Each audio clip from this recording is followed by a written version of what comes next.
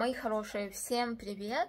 И сегодня хочу поговорить с вами на такую тему, как жизнь при раке, да, когда у тебя четвертая стадия, как же живут эти люди. А, если вы думаете, что эти люди лежат, не вставая, и все, уже поставили на себе крест и хотят умереть, то нет. А, скажу вам так, что это сложная жизнь, это пипец какая сложная, потому что ты постоянно на химиях, а потом у меня химия каждые две недели, потом я отхожу, и потом опять получается как бы химия, но вот эти 10 дней, которые у меня есть без похода в больницу, каждые две недели, да, у меня химия. А, я стараюсь жить на полную катушку. Я составила себе а, целых 100 желаний, что я, чего я хочу, да. А, там путешествие, не путешествие, там какая-то реализация, какие-то маленькие мечты, вот. Так вот, я стараюсь их воплощать в реальности здесь, сегодня и сейчас, и это круто, потому что когда ты живешь обычной жизнью, то ты меньше думаешь о том, что сколько тебе осталось, выберешься, не выберешься ты из этого, получится, не получится, получится, умрешь, не умрешь.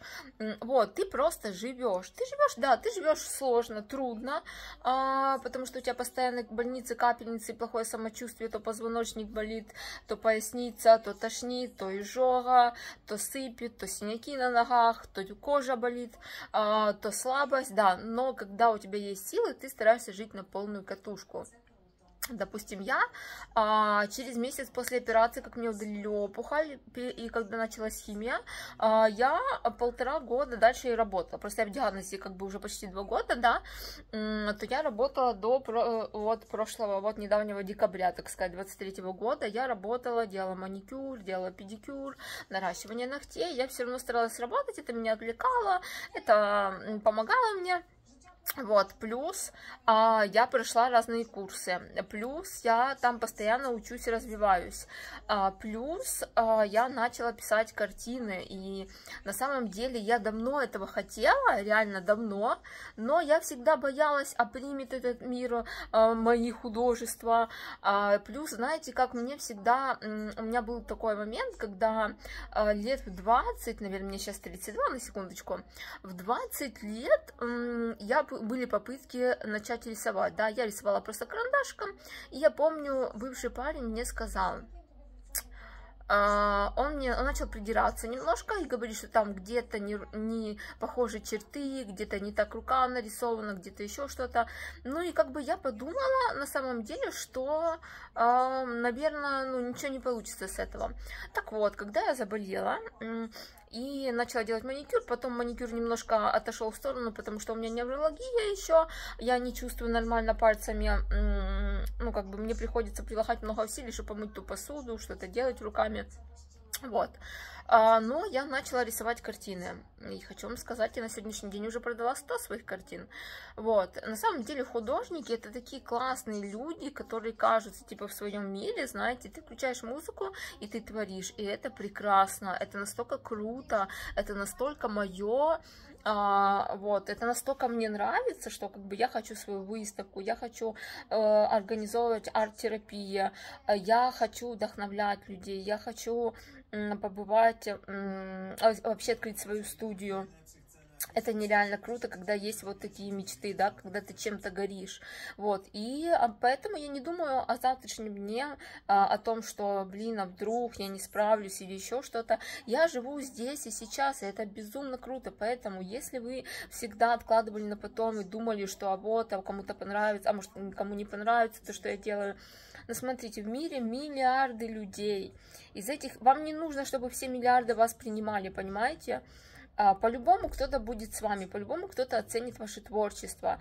Я не знаю, кто вышивает там бисером, а, кто там мозаики какие-то делает, кто там какие-то поделки делает ручные, кто куклы делает, кто вяжет классные вещи. То есть вот такие вот хобби творческие, они очень помогают. Если вы не творческий человек, то попробуйте организовать какой-то свой бизнес. На самом деле, я начинала делать маникюр, у меня было в кармане всего 1500 гривен. Из 1500 гривен я начала это раскручивать, понимаете? И у меня не было поддержки. Это тем, я сейчас говорю, кто думает, да, а у меня нету денег, еще что-то там. Вас останавливает. У меня тоже не было, и у меня не было никого, кто бы мог мне сказать там, да не парься, если что, я поддержу и дам тебе денег. Ну, то есть ты пытался все сам это делать. Поэтому для какого-то маленького дела, даже смотрите, у вас есть интернет, люди, у вас есть интернет, у вас есть соцсети, ТикТок, Инстаграм, Ютуб, Фейсбук. Используйте его правильно.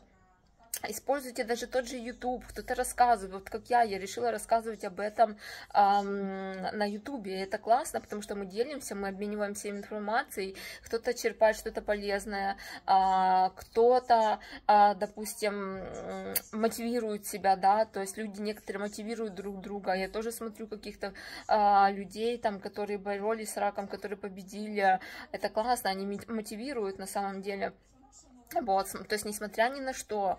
Плюс все мы с вами знаем, что мы с вами в жизни переживали и так миллион разных проблем, да, у кого-то семья, вот у меня, допустим, с семьей не все гладко, с родными, у меня толком никого нету, а, у меня там не складывались нормальные отношения, причем там где-то я сама виновата, то есть я стараюсь читать психологию за счет этого тоже. Потому что, ну, я такая своеобразная, знаете. Я вроде и мягкая, но в тот же момент я могу быть очень грубая. Грубая я из-за того, что много в жизни пережила и боюсь, чтобы меня не обидели еще раз, понимаете. И вот эти все отпечатки, они не дают нормально жить. И вот поэтому мне всегда было интересно разобраться в психологии. Допустим, в будущем я планирую стать психологом, потому что я уже вижу, как люди пишут там в том же ТикТоке, там аудитория нормальная, ну, как бы количество большое, а, да, то, что пишут там, э, кто-то хочет поддержки услышать вот этой, знаете. Почему люди идут там к тем же тарологам, да, потому что мы хотим услышать то, что мы хотим услышать, либо хотим, чтобы нам подсказали, как нам действовать, вот, потому что где-то мы растеряны, где-то не можем принимать сами решения, а, где-то нам страшно, так вот, а, кто-то там занимается, вот тоже, если вы очень хорошо ладите с людьми, а, вы можете стать психологом. На сегодняшний день очень много, изучите, допустим, а, тот же SMM, то есть вы можете зарабатывать онлайн, не обязательно делать что-то руками, да. Во-первых, вы будете в пределе, зарабатывать какую-то копеечку, это очень помогает, отвлекает тебя, потому что ты все-таки живешь, ты тогда чувствуешь, что ты живешь, ты нужен этому миру, и ты делаешь что-то прекрасное. Вот, поэтому я вам желаю не зацикливаться, да, не закрываться в себе, а быть открытыми этому миру, да, и пытаться, пытаться вот всеми возможными способами а, жить, несмотря ни на что, радоваться каждому дню, радоваться природе, солнышку, а, я не знаю, это очень круто, на самом деле, как заболела, я так стала ценить жизнь, мне вообще, если честно, кажется, что до болезни я не жила, ну, как минимум, я жила точно не своей жизнью, потому что ну, вечно, знаете, я всегда слушала, кто, кто что говорит из близких, я слушалась, э, это правильно, это неправильно, но я никогда не думала о том, что правильно для меня, знаете, чего хочу я. И сейчас, когда я заболела, я понимаю, что очень важно жить своей жизнью, не, другие, не жизнью других людей, которые тебе говорят, как правильно, а жить так, как ты хочешь, делать, что ты хочешь, заниматься тем, что ты хочешь, любить свое дело, вот, любить эту жизнь, это прекрасно, поэтому не зацикливаемся, не закрываемся и стараемся чувствовать внутри, чего хочет наша душа, чего хочет, вот, чего мы хотим в жизни. Вот хотите чем-то заняться, пробуйте. Как минимум не получится ничего страшного, найдете новое хобби. Как минимум вы попробовали и понимаете, что это вам не понравилось, да. Вот я сейчас настолько готова хвататься за разные начинания, а, пусть где-то я не закончу, не начну. Вот я, допустим, начала брошки делать, да, красивые, сейчас очень модно брошки на пиджаки а, со стразиками, я начала делать, поняла, что это очень тяжело, очень, то есть, хотя я, насколько я люблю творчество, но там там очень много нужно приложить усилий. Вот, кто-то из бисера вышивает, кто-то плетет.